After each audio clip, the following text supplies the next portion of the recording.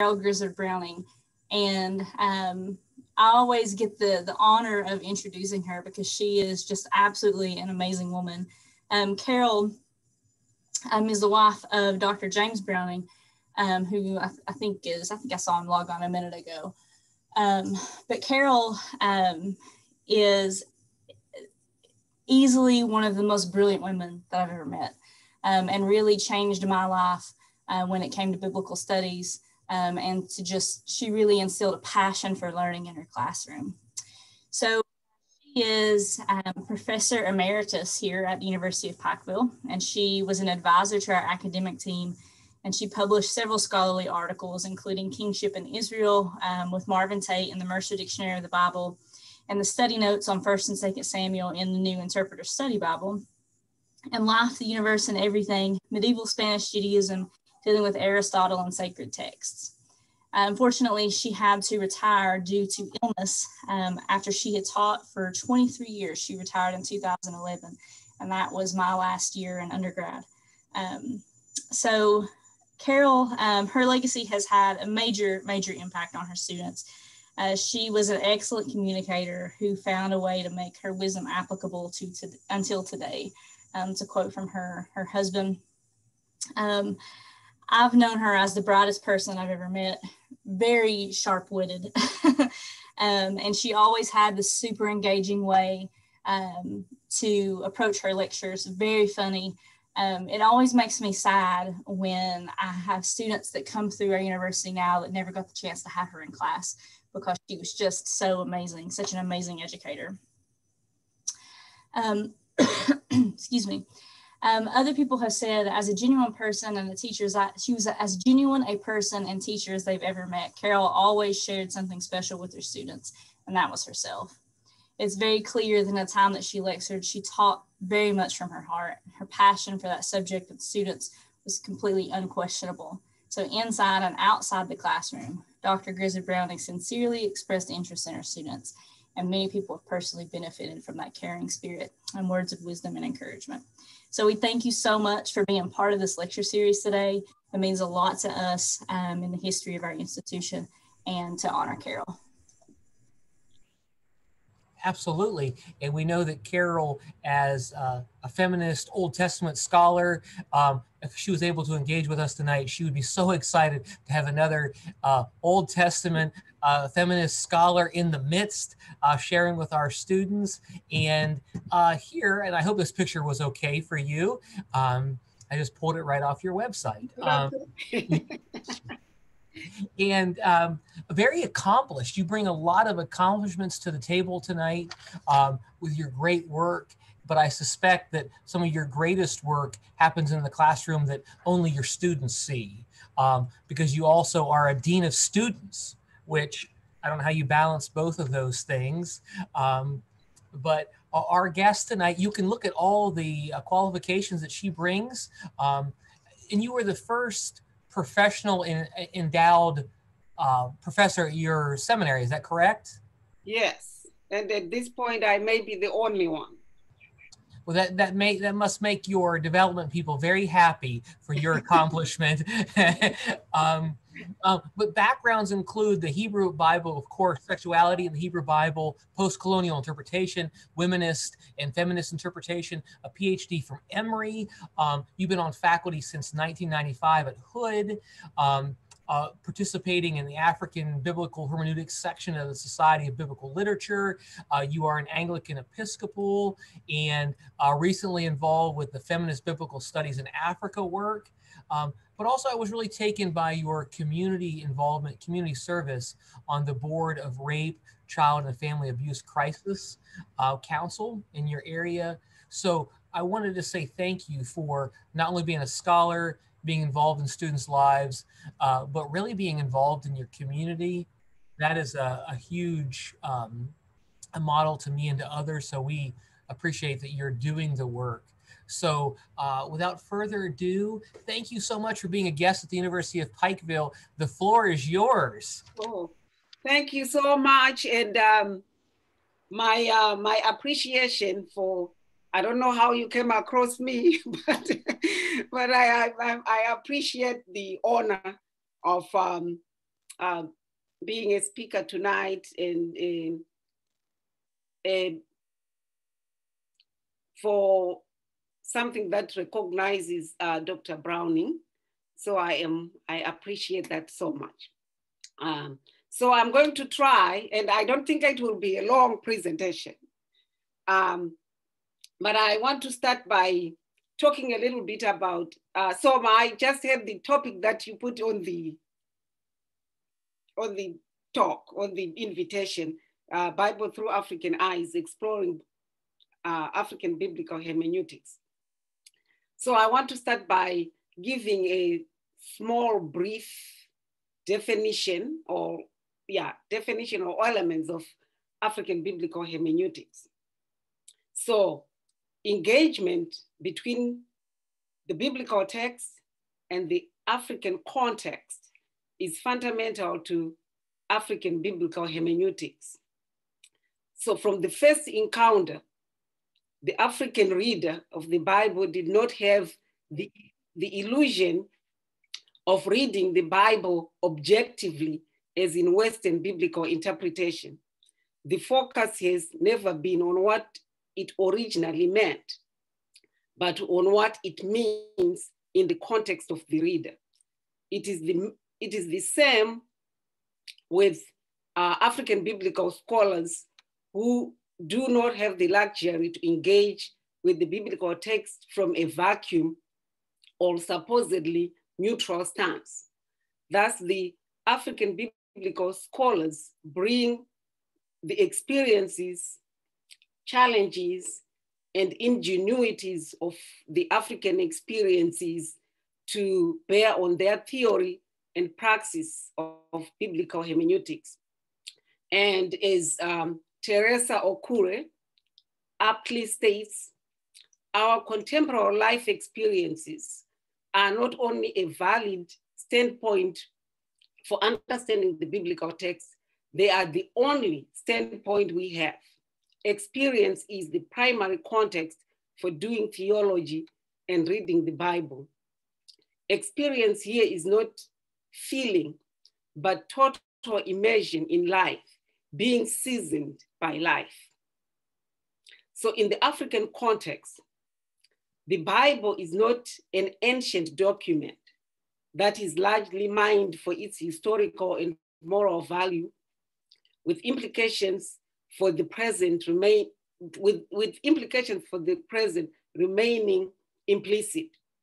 For Africans, the implications are made explicit.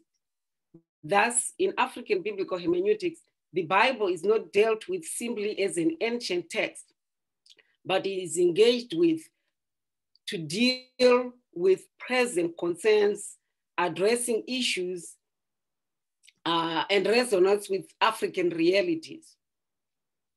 So African biblical hermeneutics is not um, an elitist endeavor because the Bible is read with and within communities. And thus it seeks to uncover reading practices that include otherwise marginalized and excluded African voices, and to, argue, to argue with such voices, and to argue why such voices should be heard. And as Adam um, suggests, African biblical hermeneutics is the principle of the interpretation of the Bible for transformation in Africa. Thus, the context of the reading communities become very central in meaning making.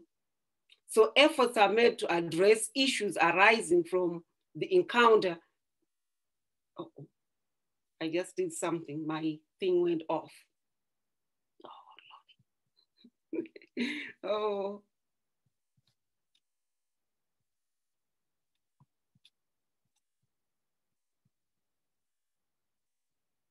I have to find my paper now on my computer.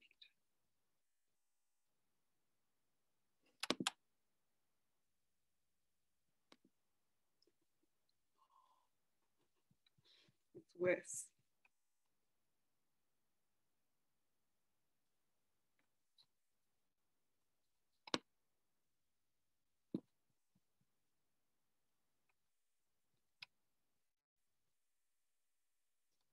Sorry. No worries, it's 2020. These things happen. okay. Oh, I got it now, but let me see. Okay. Yeah, I think I've done the right thing now. Um, and where was I?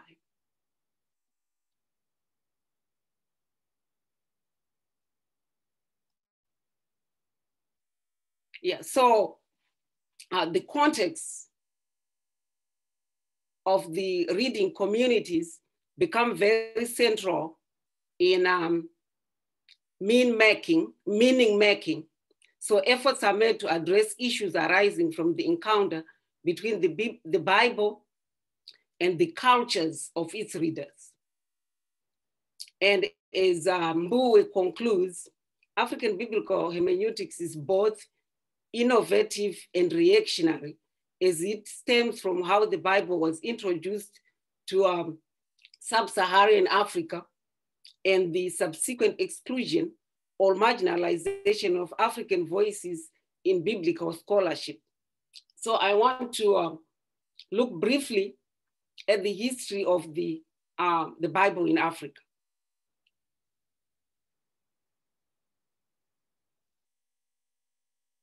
So the history of the Bible in Africa, we might say, predates the history of Christianity in Africa. The Hebrew Bible had been translated into Koine Greek by the second century BCE, and the Christian Bible's prevalence is as old as the early church in North Africa.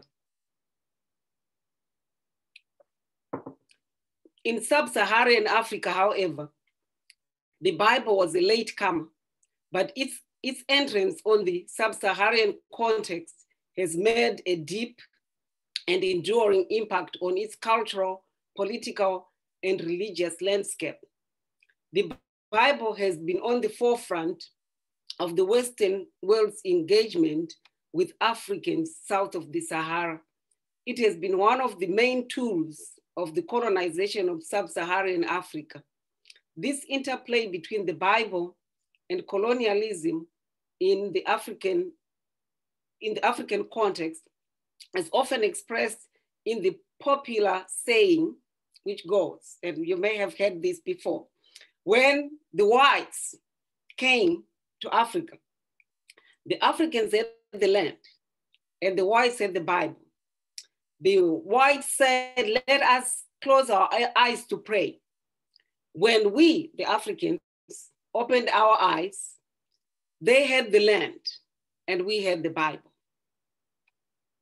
So this means that the Bible is um, a tool in the struggle. Um, no, so the Bible is a true tool of colonialism. So uh, there is a so uh, missionary work of spreading Christianity is seen in the light of colonialism, that Christianity is the other side of colonialism, that they work hand in hand. But on the other hand, the Bible also became a tool in the struggle of the Africans to regain their land and dignity, especially against apartheid in South Africa. But the connection between the Bible and colonialism has influenced biblical interpretations in sub-Saharan Africa.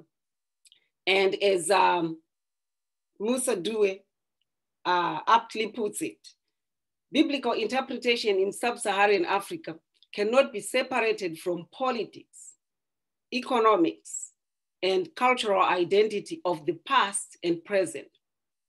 Biblical interpretation in the African continent is thus intimately locked in the framework of the scramble for land, struggle for economic justice, and struggle for cultural survival.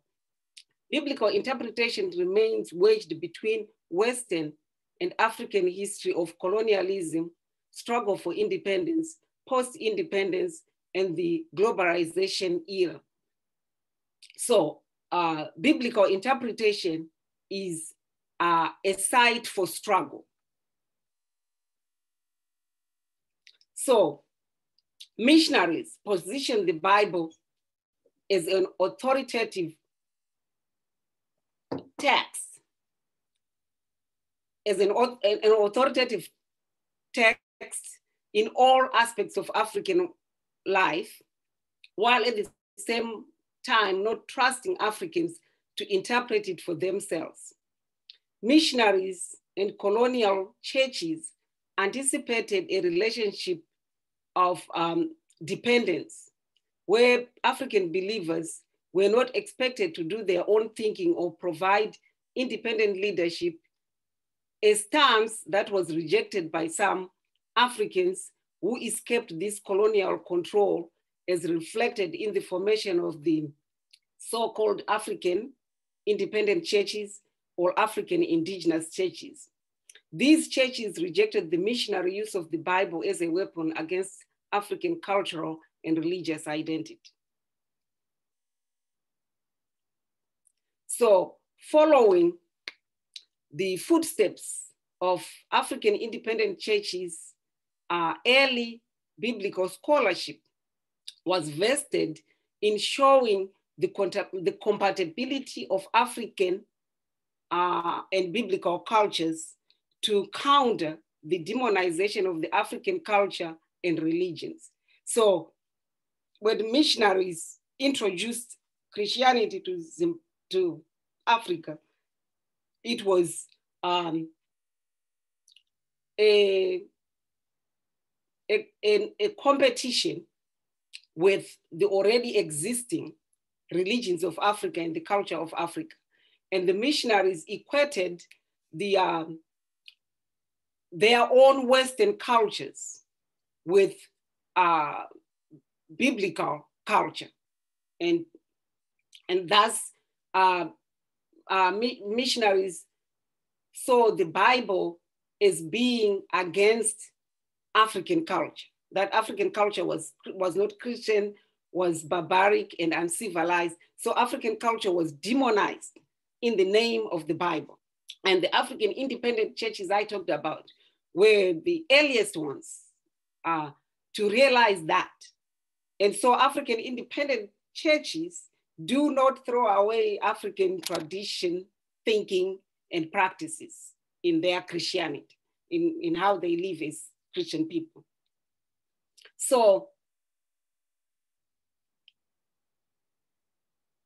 so to go back to talk about um, African biblical hermeneutics. So African biblical hermeneutics focuses on the present in contrast to the ancient. So it wants to make biblical interpretation relevant to present realities. So it seeks to uncover reading practices that include otherwise marginalized, I said this before, uh, African voices. So it's not an elitist kind of work.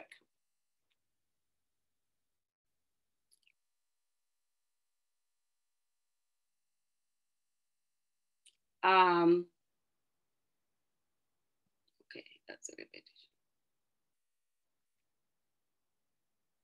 So I want to then uh, just jump to, jump to talking about how African eyes are put on the Bible.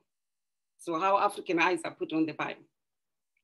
Um, so the earliest and which continues even to today was uh, what we might call incalcula- incalculation, inculturation, or cultural hermeneutics. Inculturation or cultural hermeneutics. So this is focused on the issue whether or not African cultures and or religions are compatible with Christianity. And the issue is the translatability of biblical concept into African culture. Uh, although there are scholars who question the compatibility of some aspects of biblical and African concepts um, in, in people who see um, cultural hermeneutics, which is the use of the comparative approach that the, the Af African culture and the biblical culture are compared. So they seek to establish points of agreement between the Bible and African religions and cultures. So the agenda, uh, in the agenda, the in this agenda, the issue of translation of the Bible of the biblical text is tangential because the focus are most mostly on cultural elements. So when missionaries came, they um, they were introducing a,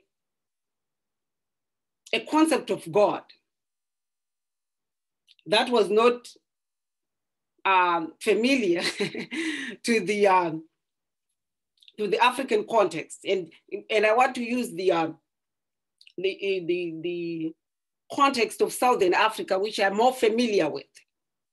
Um, so for the Bible, for the message of the gospel to be acceptable to Africans, it had to be put in a way that was translatable into the African culture, which began with the identity of the biblical God. So in Southern Africa, the missionaries first came, uh, they came in two phases actually. The first one, they were not successful. This is when it was not um, attached to colonialism. Uh, but um, when they eventually came, they uh, introduced their biblical God and were at first reluctant to use African names for God because that would be uh, pagan. Um, but then they switched. and in their translation of the Bible, they adopted the names of uh, the African names of God. So they adopted the African names of God for the biblical God. So that, uh, and then they introduced education, which was limited to teaching Africans how to read the Bible in their own languages. So, so they, um, they, so the Bible now was now talking about uh, the, the African gods. So for example, in my own country, the God is Mwari. So when, when now I open the Bible, it will tell me that Mwari created the world, you know, the heavens and the earth. And then in, a, in, in connection with that, they also then uh, dismissed the way Africans taught, talked about their God. So the African myths and folk tales and everything were then no longer authoritative. So the Bible was made the authority on African gods. And so that's why the Bible is the God, the, the Bible is the, the Bible of Africa. It really, there's no way I can tell Africans to get rid of the Bible. I tried it in one of the um, our SBL um, meetings uh, of African biblical hermeneutics because my argument is uh, uh, the, the Bible augments or embolden African patriarchy that is oppressive to women and other minorities. But they, so many of the African biblical scholars are also ordained preachers, so they have something invested in the Bible, but that's a story for another time. So, so in in in um in critiquing uh, the Bible, the in critiquing Bible translations, uh, the the inculcation, inculturation does not cross over to the quest for proper indigenous terms in the biblical text. So they, they we also have an element of where biblical African terms were then co-opted to talk about um, biblical concepts.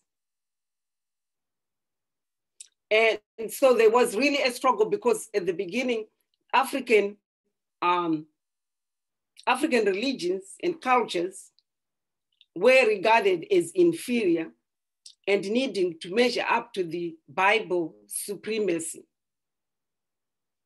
And so, as it is articulated by Justin Ukpong, inculcation hermeneutics sees the Bible as a document of faith and therefore demands entry into it and sharing the faith of the biblical community expressed in the text. So various cultural and religious concepts are lifted up for comparison.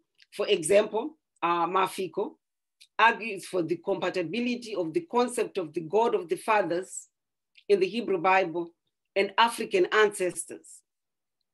Then uh, Tolibe compares the liberative role of the biblical Jesus and the Nganga, the indigenous healer in African religion. So this comparative approach seeks to establish continuity of concepts and practices between biblical and African cultures. And the, the earliest, the fathers of biblical hermeneutics go, go way back, where um, John Mbiti, for example, sees African indigenous religions as the forerunner to biblical religion. Thus, pre-colonial religions of Africa were to be replaced by the full revelation of the gospel situated in the Bible.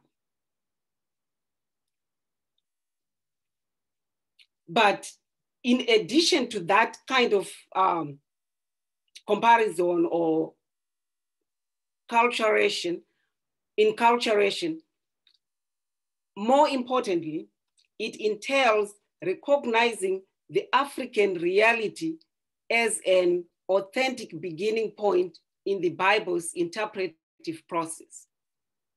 So, for example, Ukpong analyzes the parable of the shrewd manager in Luke 16, verses 1 to 13, that conveys how, uh, his analysis conveys how poor African readers would understand the, the parable in the light of the oppressive debt on, econ on African economies. So there is a constructive dialogue between the cultures in the Bible and those of the reader.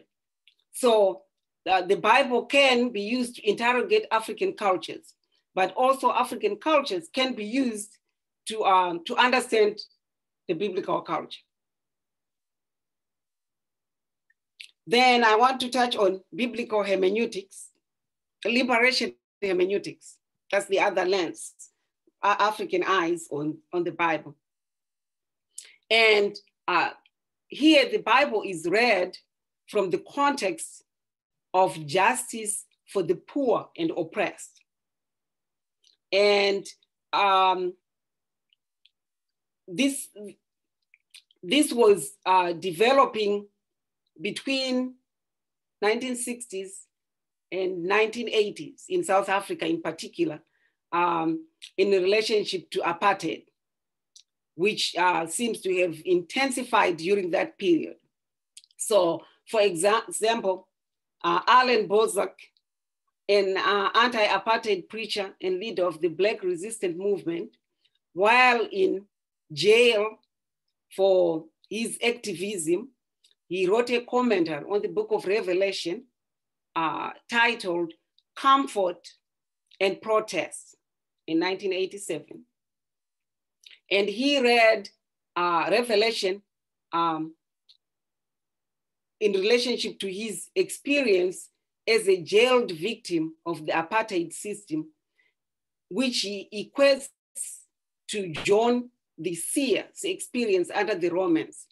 And he interprets Revelation as radically anti-imperialist literature, which nevertheless calls for non-violent resistance in the face of the state's aggression. So it's informing his, um, his uh, posture of, uh, of his, the reality that he's experiencing through apartheid that will inform how he how he counters it, not by taking up arms, but by nonviolent resistance. Then the other aspect of liberation um, hermeneutics that I want to highlight is that which is uh, identified as reading with the ordinary, non-scholarly readers. Um, if you remember, I said that um, biblical interpretation in Africa is not an elitist uh, group or an elitist in, endeavor. It's not. Um, it's not something that is very theoretical. Now it's beginning to be more theoretical than we were at the beginning, but it was. It's it starts with context, context of the reader, and bringing the Bible uh, message uh, to bear on, on, a, on the context, especially in community. So, for example, in, uh, in South Africa, there was, well, it's still there. There is a, there is um, a, like a, an increase of violence against women um, which falls into their murder, rape, and all that. So the book of the, the, the rape of Tamar is read with uh, ordinary, non-scholarly readers, um, with scholars in them. And this was um, mostly propagated. The, the most important person here who used it is who spread, who developed it and then spread this is um, Gerald West in South Africa at KwaZulu-Natal where they have the center. So it, this is what is usually called contextual Bible studies, where the Bible is being read to change, to transform the community for the better. So, and so this is um, in the realm of uh, liberation hermeneutics. Then I want to highlight a little bit um, women's eyes on the Bible, uh, African women's readings, which um, which is done in several ways, but um, it is read from the context of African patriarchy, the oppression of women, and other minority people. So it's, it's read to, uh, as a source of empowerment for people, for women under oppression and to, to, um, to be empowered to fight for liberation, their own liberation and liberation of others. And, um, but it also recognizes the, um, the patriarchy in the Bible itself. So it critiques, uh, while it, it might, they might see women, African women, especially um, uh, non, uh, the ordinary readers, might see examples of women who, um, who um, their who express or yeah, express their experiences of oppression under African patriarchy uh, might see that, but they they also see, especially uh, scholars, trained scholars, they also see the complicity and the use of the Bible by African males in the oppression of women and in this, um, and they they critique even biblical translations that have um, that have um, yeah biblical translations that are translated in ways in patriarchal ways and androcentric ways and then are interpreted in that way. And so it then augments the struggle of african women to get rid of patriarchal oppression because the missionaries in the bible embolden it. So that's one aspect. Then lastly,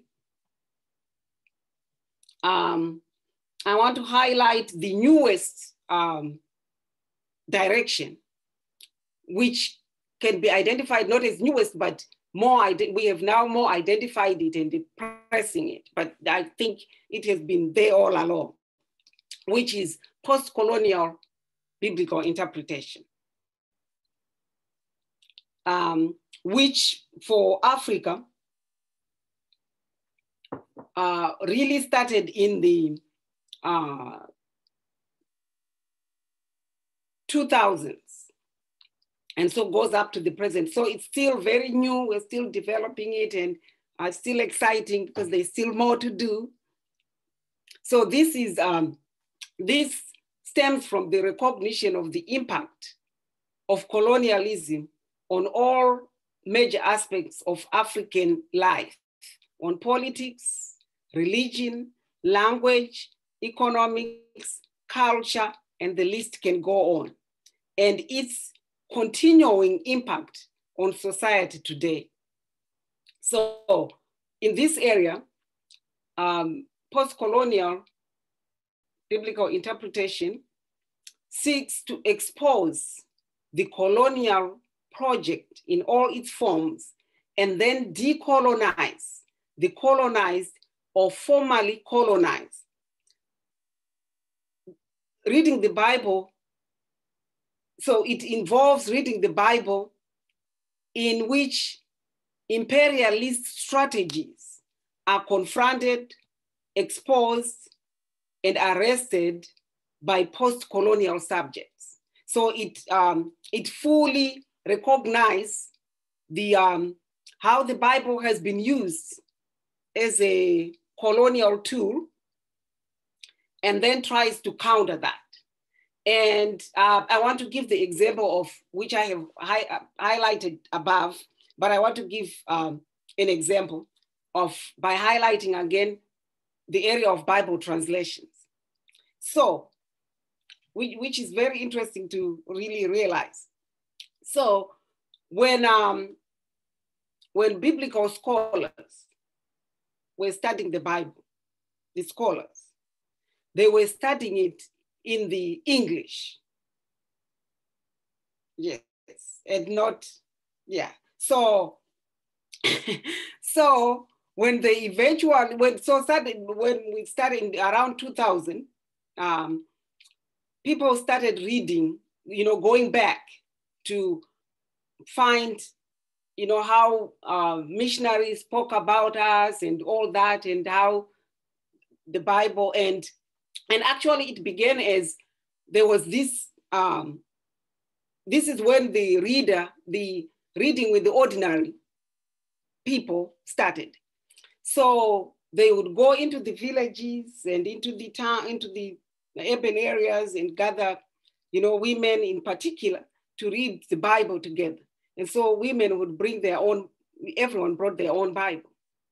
And so you that's when, in that context, when they were reading with these uh, indeed vernacular Bibles, that's when they realized that some of the words uh, that the missionaries chose to translate biblical terms were just um, uh, a demonization of African religions. So for example, African ancestors, so um, the words for African ancestors were the words that were being used to refer to uh, demons that needed to be cast out. Um, and then the other thing to, to do to to critique is the, uh, so in missionary evaluation of Bible translation, um, uh, and in missiology, not missionary, missiology, like people like Lamin Sanneh uh, have um, elevated Bible translation as having preserved African terms for God and African, um, uh, and, and made the, the Bible become African.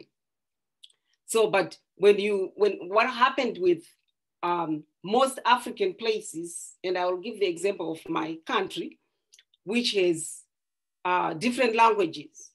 But we have major languages that have dialects in them. And so uh, the missionaries standardized the languages, which means that the other languages were suppressed.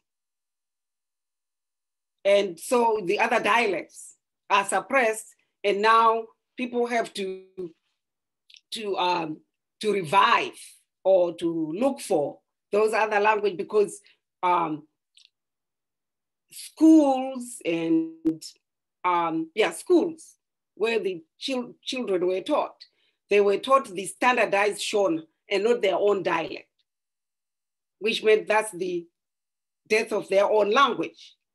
Because once the, the elders who speak it are gone, then you are left with the standardized language.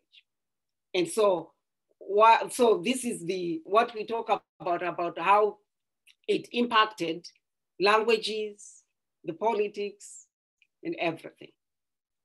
So this is an, an ongoing uh, exploration of looking at the Bible in African eyes. And I want to say, um, this is just probably one-sided from my perspective, yes, because if you're familiar with Africa, it's not um, homogeneous. It's, it's, um, it's very um, diverse. So there are conservative views of the Bible that are very strong. And actually some of what uh, African biblical hermeneutics have to wrestle with is the, um, the importation um, of um, such elements as prosperity gospels, because with globalization, now it's being zoomed into their um, houses, and sometimes it not even edited to remove the 800 numbers to send money, but but so we are so we wrestle with that. And also wrestle with um, with um, with the idea that said that that is brought about um, homophobia and the use of the Bible for that. So we have to continue to find ways to talk about those elements. And so that's why it's more about transforming um, communities rather than reading for luxury or for um, spiritual engagement only, but it actually uh, leads to tangible activism in society. I think I will stop with that.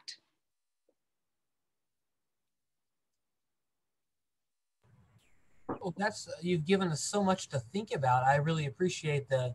I, I know we gave you a really, really big topic, right? It's like do it all in 45 minutes is an impossible task. So you've given us little uh, pieces of all of this. Um, we're going to open it now for questions, but I wanted to follow up with something you just were st- starting to talk about. Mm. I'm fascinated on.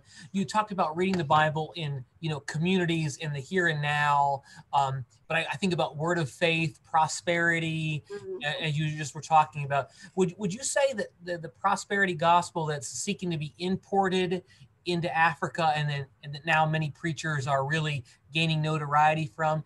Is that another form of colonization by the West? Yes, it's another form of colonization by the West. And the problem is um, it's, it's, it's bringing in problems into, into Africa. That is uh, because, again, the environment is of poverty. And so the, the interpretation of wholeness, that used to be the wholeness of the, um, of the community, the wholeness of the uh, whole body, is now imported as individualism. You know, you know not community oriented anymore, but people are um, being exploited by these preachers who are now they, they these are African preachers themselves who are now acting like the televangelists here. And then in Africa, then it is compounded with the poverty of um, even lack of medical care. That if people are ill, and there's the person who says, if you bring me, if you come give God money, God will heal you, you know, and, and all that. And if you are in poverty, if you want a house, you, you know, things like that, that don't make sense in the um, African context itself that was community oriented before. So now we are wanting to build our each one his or her own castle. That's that's very helpful. Thank you. Are there other questions from um, our audience today? I I'm gonna attempt to ask a question if he isn't screaming. Um, um, so I'm working on my PhD and I'm studying um, rape and theology, how theology can help people heal from that. So you said a few interesting things. Um, one of the things that I have been thinking about is um, how um, you know, you mentioned colonialism and Christianity being used as a tool in that, um, and then simultaneously being used as a way to liberate. Right? Um, and I've been thinking a lot about um, survivors uh, of rape and sexual violence um, at the hands of people who are involved in the church, maybe not necessarily clergy, but maybe church people, um, and how they can reimagine um, biblical text in a way that liberates as opposed to continue to oppress. And one of the things that you mentioned was image of God um, and how um, translation becomes a, a, problem um, if the translation is used to to continue to oppress and demonize and that sort of thing. Um, so I was wondering if you could speak a little bit more about um, the African image of God and how that how um, translating image of God through the African context has um, helped to help to reimagine the text uh, as a liberative tool. Does that make sense? Yeah, it does. well, I, I was actually, if you had image of God, that's not what I meant. Your concept of God is different from image of God. So yeah, but but I want I'm going to talk to you in relationship to concept of God. So the concept of God um, in originally, in, I'm going to use my own context of Zimbabwe, of Shona. So God was spirit. Um, with no, you know, transcendent from humanity.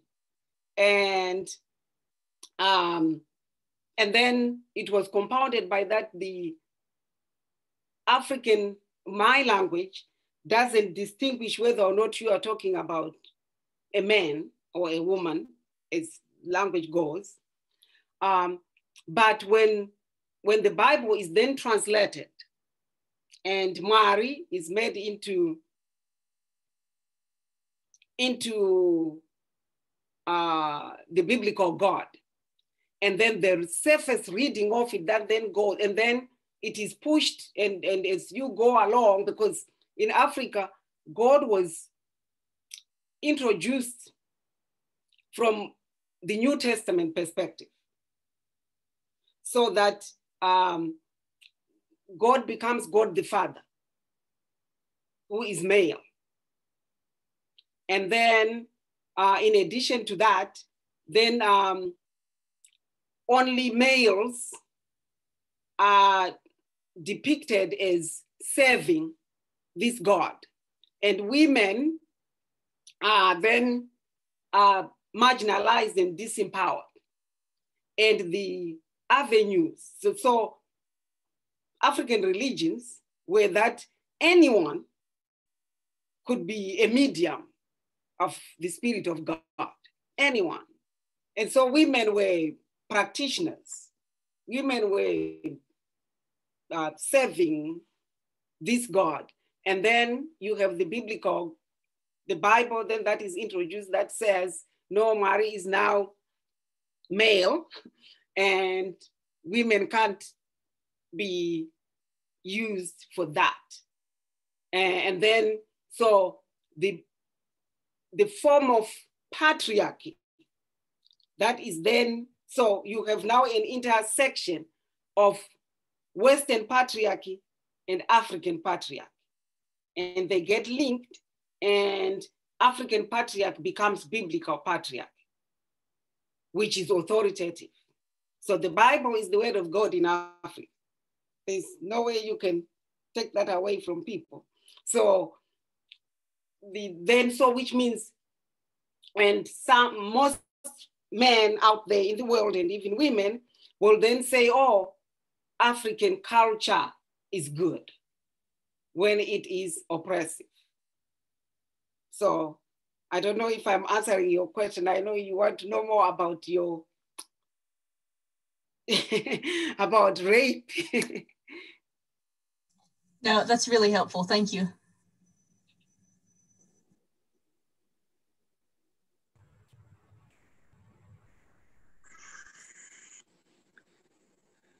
I want to thank you for your delightful and insightful presentation. Uh, I'm very interested in the ordinary reader approach. And I wonder if you would talk more about how one would practically implement that. I'm, I'm always mindful that I don't want to myself perpetuate an elitist view of biblical interpretation. I want my students to have their own voice you know discover means of interpretation that are meaningful to them. So how would one go about implementing uh, a uh, uh, an ordinary reader approach? Okay that's very good. Actually if you go to um, the kwazulu natal's website they have the documents there and they have been developing it and adding more but it is about um, gathering together on the same level, uh, the, the biblical scholar might be a facilitator uh, and facilitates a discussion by asking questions that people answer for themselves. And it's done in groups. And then you come back and share the same um, element. So it is, um, it is, let me think if I can still remember how it goes. It is uh, see, judge, act. So you, you see what the text is saying, then you judge the text and your context and then you act to change your context. Does that make sense? Yes, it does. Thank you very much. I, I like that formula that you've given. I very much appreciate it.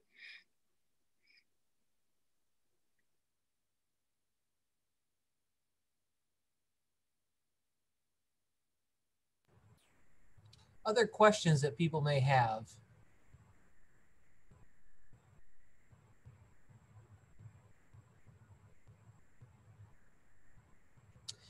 I have a question about uh, the context of Zimbabwe, your home country. Mm-hmm. You know, yeah. you, gave us the idea of reading the Bible through liberationist eyes. And, you know, when they're dealing with a person like Mugabe, and how was the Bible used to, to address maybe some of the ideology that was posed by, you know, a regime? And did you see the Bible used for liberation under under that, or or did was it used to prop up?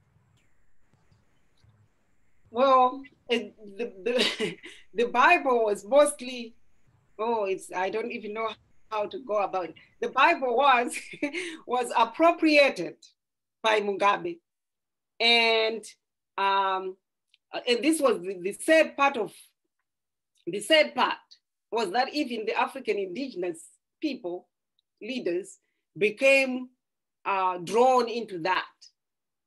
Uh, I think it, that Mugabe was Mugabe and all the other people. The, the, Mugabe system is not gone; it's still there because the person who is there is just like him or worse. But it's like uh, so the persecution of um, um, homosexuals was done in the name of Bible and culture. So the churches uh, will join with Mugabe on that. It, because even today, you know, like um, they were sharing with me that um, the people, Christians in Zimbabwe, some Christians in Zimbabwe, evangelicals in Zimbabwe, were praying for um, for Trump to win because he he fights against homosexuality and abortion. And it's like, have you heard him speak? do you know how he characterizes your kind of people? But that's that's the that's the point. That no, it was it, those who were those who would use the Bible to confront the uh, oppression of Mugabe would be persecuted and put in jail and have to leave the country. So uh, that's the, the dilemma.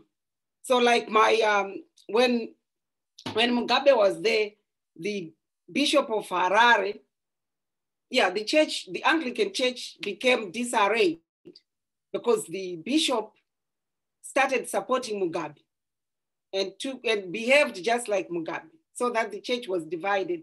The uh, the church had to reclaim, go to court, reclaim their churches after a long time and had to go through rituals of cleansing because of how they had been used.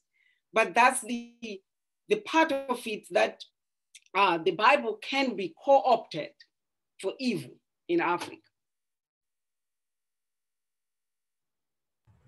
Yeah, absolutely. Okay, thank you. Thank you for that. Um, one last question before we finish out tonight, and unless somebody else has a question, was you gave us, you walked us through a little bit of the Luke 16 passage of unjust manager. Would there be any other text that you would say would be a really good example of maybe uh, an African eyes would read very differently than oftentimes, you know, Americans in the West may read, interpret, apply, and say, oh, this is the plain reading of it. Maybe an African would say, wait, I see this very differently. I would like to say um, the, the Lord's Prayer.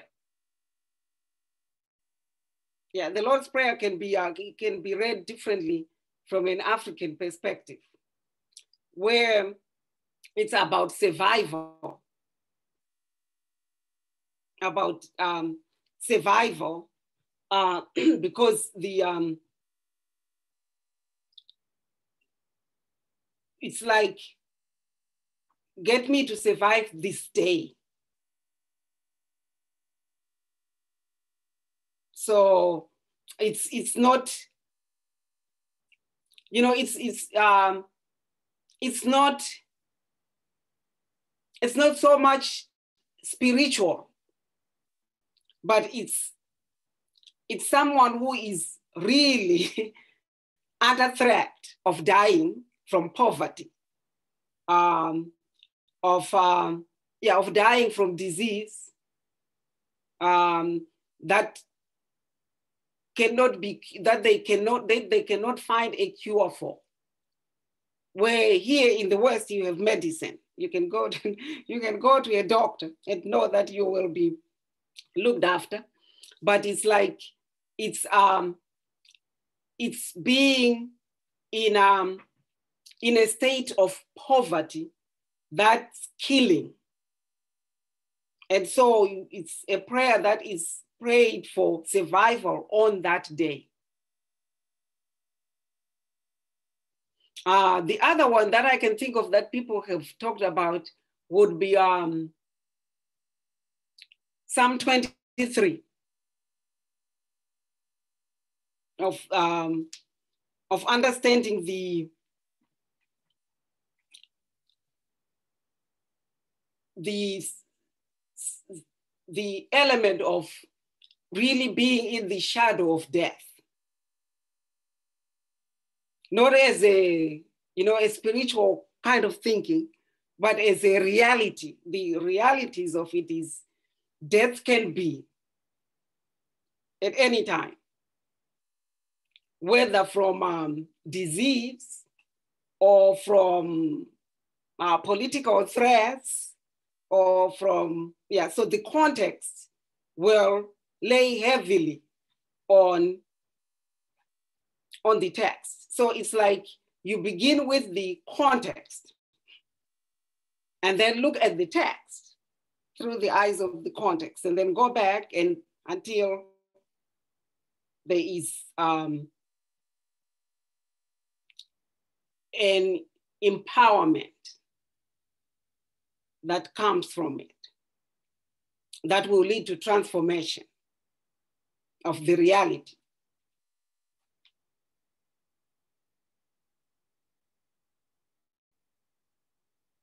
So always starting with what is in the here and now in our life first. Yes. Ultimately interpreting it and wrestling with the text until it brings communal transformation. Yes.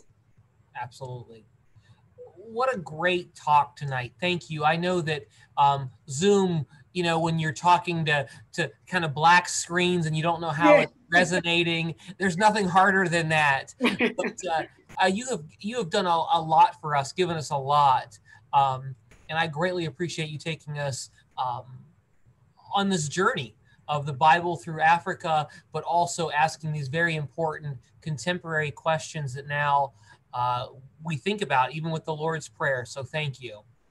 Yes. Well, thank you very yes. much. I